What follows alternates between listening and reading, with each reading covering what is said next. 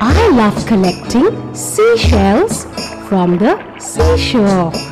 Well, this is a poem about a shell that sings. It's called Sea Song.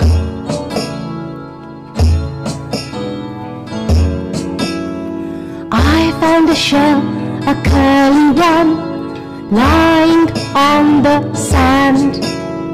I picked it up and it home, cold inside my hand.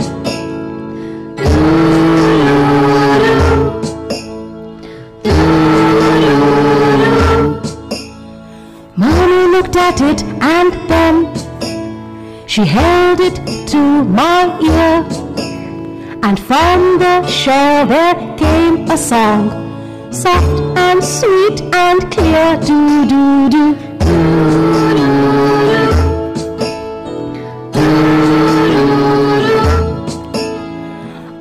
Was surprised, I listened hard, but it was really true. I wish you'd find a nice big shell and hear it singing too.